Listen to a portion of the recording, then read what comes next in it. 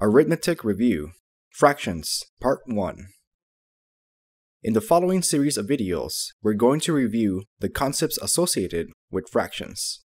Let's first start with the basic definitions and terminology. A fraction is a number of the form a over b, where a and b are integers, and b does not equal 0, since division by 0 is undefined.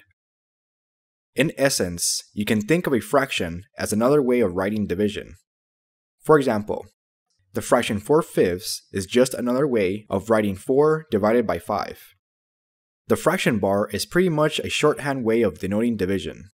In general, the integer on top of the fraction bar is called the numerator, and the integer underneath the fraction bar is called the denominator. For example, Negative 5 over 3 is a fraction in which negative 5 is the numerator and 3 is a denominator. These types of numbers are also referred to as rational numbers. Now let's talk about the various properties of fractions. If both the numerator a and denominator b are multiplied by the same non-zero integer, the resulting fraction will be equivalent to a over b. For example, Say that I have the fraction negative 5 over 3. If we multiply both numerator and denominator by the integer 4, we would obtain the following fraction, negative 20 over 12. This fraction is equivalent to negative 5 over 3, or negative 5 thirds. In the same manner, if we multiply the numerator and denominator by negative 1, we would obtain the following fraction, 5 over negative 3. The results of these two examples illustrate a couple of important properties that you should keep in mind when dealing with fractions. If both the numerator and denominator have a common factor, then the numerator and denominator can be reduced into an equivalent fraction. For example, if we were to take the fraction 40 over 72, we can rewrite the numerator, 40, as 8 times 5. In the same manner, we can rewrite the denominator as 8 times 9. Since both the numerator and denominator have 8 as a common factor, you can cross out or cancel this integer from both numerator and denominator. This process leaves you with an equivalent fraction, in this case 5 ninths. Fractions of this form are said to be reduced in simplest form. Let's go over another example. Say we had the fraction 16 over 20. There are two ways you can reduce fractions. The first requires you to write the prime factorization of the numerator and denominator.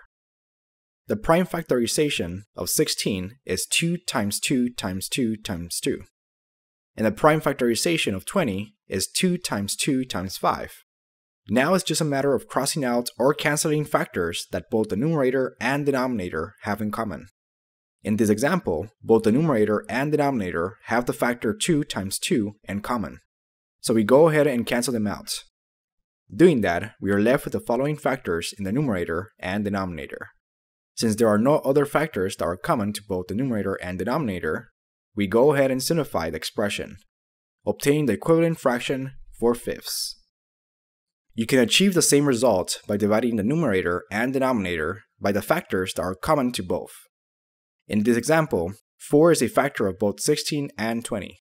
This means that both the numerator and denominator can be divided evenly, without remainder, by 4. Doing this yields the equivalent fraction 4 fifths. So either the prime factorization method or the common factor method can be used to reduce a fraction into an equivalent form.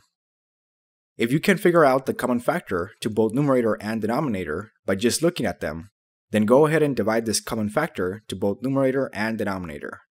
On the other hand, if you're having trouble finding the common factor, then you always have the option of writing the prime factorization and proceed canceling factors in this way.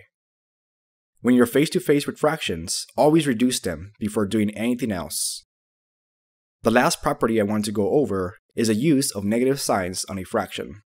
A fraction with a negative sign in either the numerator or denominator can be written with the negative sign in front of the fraction.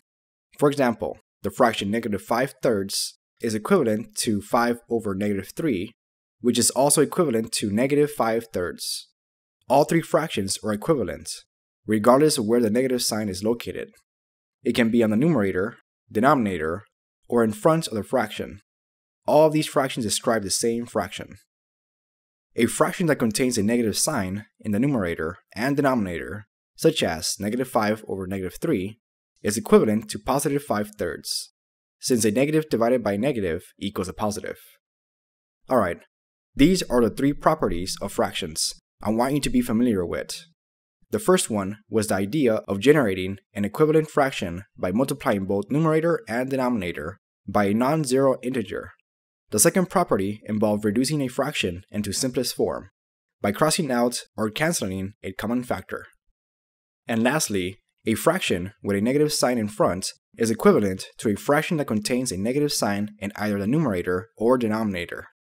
These properties are going to be important when we start reviewing operations with fractions. In part 2 of this video series, we will review how to add and subtract fractions.